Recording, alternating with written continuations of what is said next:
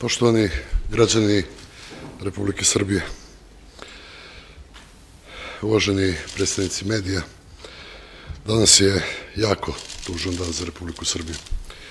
Nažalost, potraga za malom Dankom Ilić i pored svih uloženih napora u potragu, tragično je završena i zločin koji je na njom počinjen duboko je potresao celu Srbiju. Svoje lično ime i u ime svih pripadnika Ministarstva unutrašnjih poslova izražavam najdublje saučeše porodici Male Danke. Pripadnici Ministarstva unutrašnjih poslova nakon desetodnevne opsežne akcije, detaljne provere svih tragova i informacija uhapsili su SJ 1974. godište i DD 1974. godište zaposlene u javnom preduzeću javnom komunalnom preduzeću Vodovod Bor osumnjičene da su 26. marta automobilom udarili i ubili novogodišnju danku, a potom jedno telo bacili na deponiju.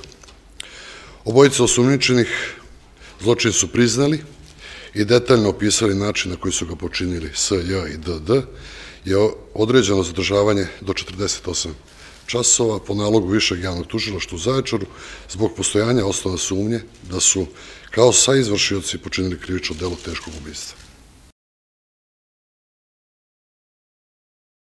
Prema svim informacijama sa kojima raspolažemo, izreću vam retrospektivu celog događaja. Majka Ivana Ilić je sa decom u kući u Banjskom polju iz Bora došla u 13 i 10.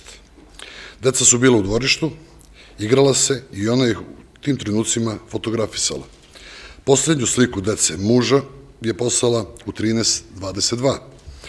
Sinju je tražio vodu, koja je bila u kolima par metara udaljenim i dok je uzela vodu, shvatila je da Danke nema.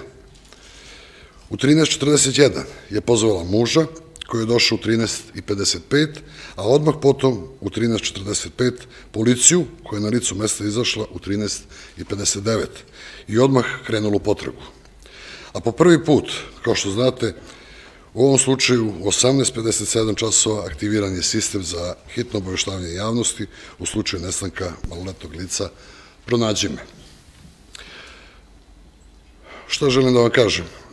Vremenske odrednice, mi smo od izlaska iz stana majke Ivane Ilić pratili forenzikom telefona njeno kretanje od Bora do Banjskog polja, pritom upoređujući sve moguće sa moguće lica koje su tu istu trasu u istom vremenskom periodu zajedno sa njome prolazili.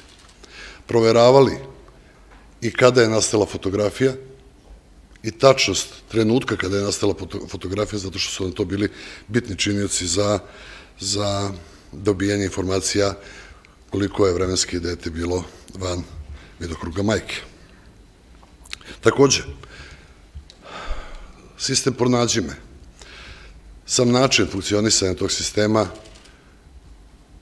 i davanja naloga je više puta objašen i zašto ne istog trenutka kada se prijavi nestanak maloletnog lica, već moramo da dobijemo, zato što se dešava da tu decu, a mi smo prošle godine, čini mi se, imali preko 600 prijava nestanaka, nađu u narednih desetak, 15, 20 sat vremena i uznemirenje, zaradu uznemirenja javnosti, on mora na zahtev načelnika policijske uprave da se desio nestanak maloletnog lica da bude i stavljen u funkciju.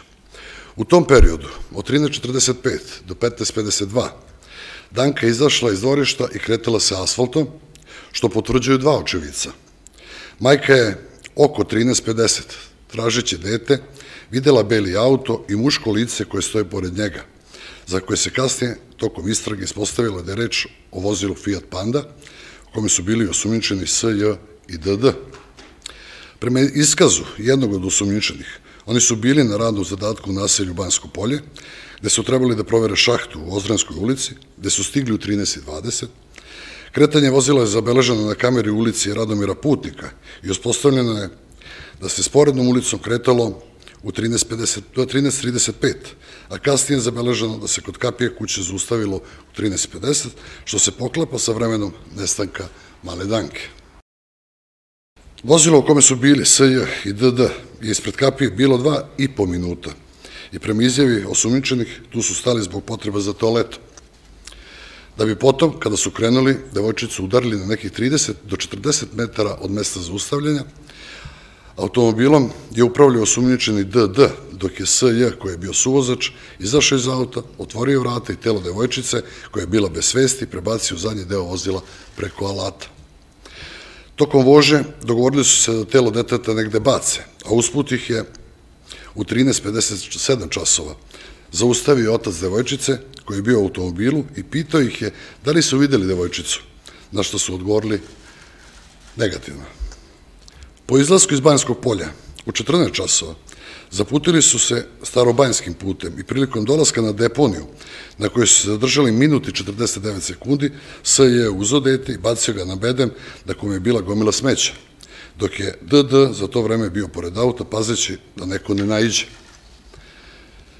Nakon toga su se vratili u firmu, ostavili vozilo, o monstruoznosti hladnokrvnosti ubice devojčice svedoči i činjenica da je SJ po pozivu direktora istog dana otišao u Banjsko polje da traži devojčicu svestan da ju je hladnokrvno usmrtio.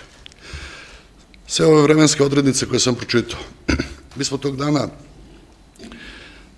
sa privatnih kuća skinuli deset, na deset lokacije kamere.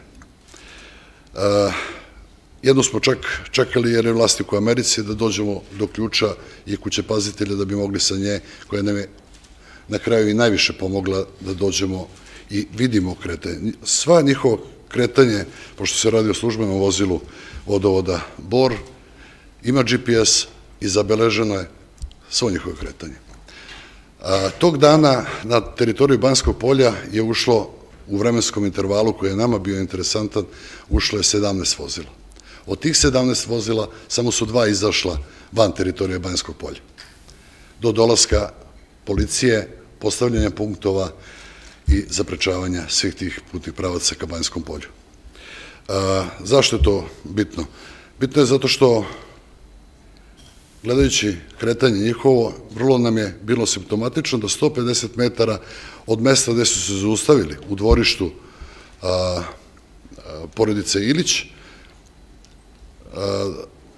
to jest dvorištu gde je bila Ivana Ilić sa, svojom decom, tih 150 metara prešli su za pet i po minuta. Kao što imamo i kada su stali na deponiju, jasno zabeleženo da su se tu zadržali minuti 41 sekundu.